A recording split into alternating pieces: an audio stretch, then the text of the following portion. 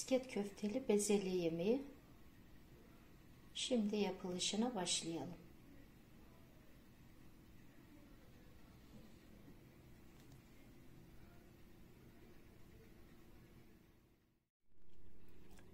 Kanalımdan sevgiler. Köfteli bezelye yapacağız. Bezelye yemeği.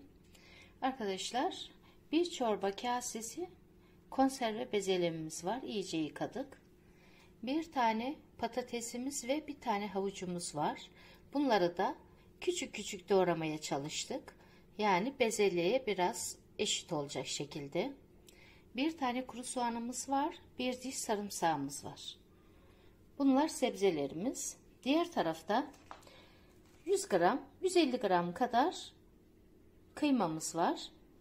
Ee, bir çorba kaşığı, yemek kaşığı ince bulgurumuz var. Yani köftelik bulgur. Ee, tuzumuz var ve karabiberimiz var. Şimdi ilk etapta e, köftelerimizi güzelce yoğuralım. Arkadaşlar bildiğimiz sulu köfte, misket köfte yani misket kadar olacak bir sulu köfte e, kıymasını yoğuralım.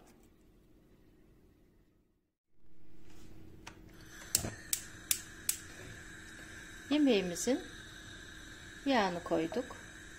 İlk etapta soğan ve sarımsağı birazcık pembeleştirelim.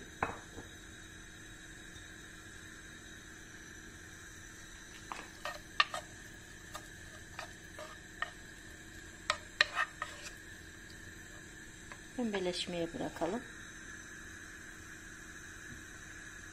Misket köfteli bezelye yemeği yapıyoruz arkadaşlar. Soğanlarımız birazcık yumuşayınca hafif sararmaya başladı. Havucumuzu ekleyeceğiz. Arkadaşlar havuçları ekleyelim.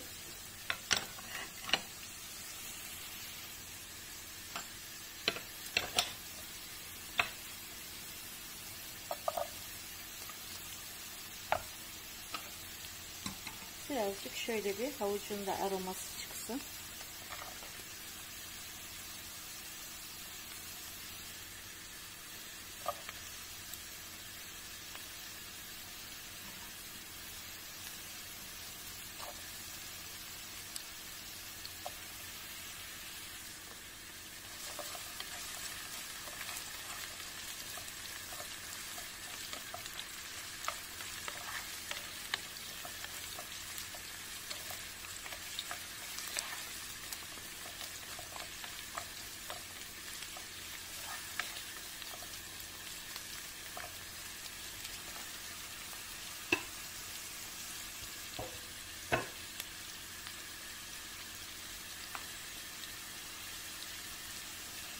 Bir yemek kaşığı yemeğimizin salçasını verelim ve kavuralım.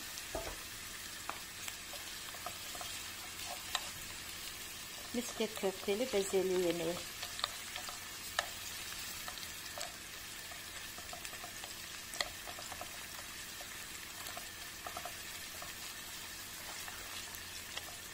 Salçamız kavrulduktan sonra arkadaşlar bezelyesini veriyoruz. Patates ve köftelerini bezelye bir 10 dakika piştikten sonra koyacağız. Çünkü bezelyenin e, pişme süresi daha çok olduğu için diğer sebzelerimiz ezilmesi. Patates ve köfte çabuk pişeceği için. Evet yemeğimizin de suyunu verelim.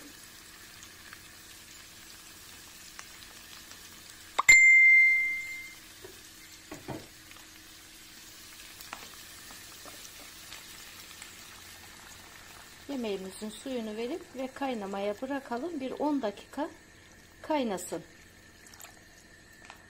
Bayağı bir suyunu veriyoruz arkadaşlar. Suyu olsun. Çünkü köfte falan koyacağız içerisine. Evet. yemeğimizi bir 10 dakika kaynamaya bırakalım. Arkadaşlar kıymamızı güzelce yoğurduk. Şöyle küçücük misket köfteleri yapıyoruz. Kıymamızdan parçacıklar alıp birazcık ez, bezeliğe eşit şekilde tabi misket kadar oluyor. İstediğiniz boyut, boyutta yapın. Şimdi arkadaşlar bezelyemizi bir 15 dakika kadar ilk etapta kaynattık. Çünkü e, bezelye geç pişeceği için diğer sebzelerimize göre onu bir 15 dakika kadar havucuyla pişiriyoruz. Sonra bir tane doğranmış patatesimizi ekliyoruz. Arkadaşlar bunları sonra katmamızdaki maksatımız patatesimiz ve köftemiz kıvamında pişsin, ezilmesin.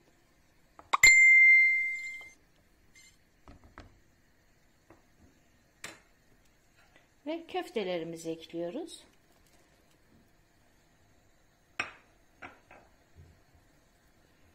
Misket köfteli bezelye yemeğimiz.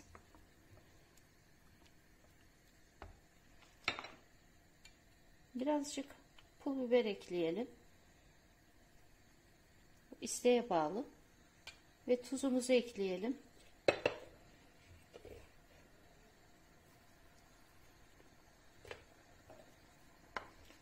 Yemeğimizi pişirmeye bırakalım.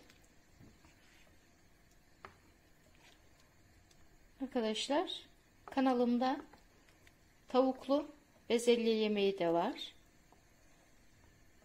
Fakat bu misket köfteli bezelye yemeği. Bunu da tavsiye ederim. Arkadaşlar kanalıma abone olmayı unutmayın. Videolarımı beğeniyorsanız mutlaka beklerim sizleri. Çok teşekkür ediyorum yorumlarınız için. Bildirim zilini de açarsanız yeni tariflerimden haberdar olursunuz. Evet yemeği pişmeye bırakalım. Kısık ayarda.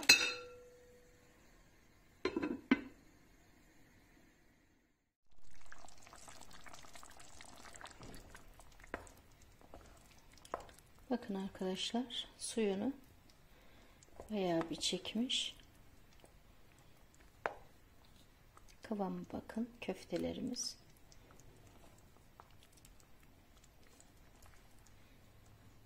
Bir 5 dakika kadar daha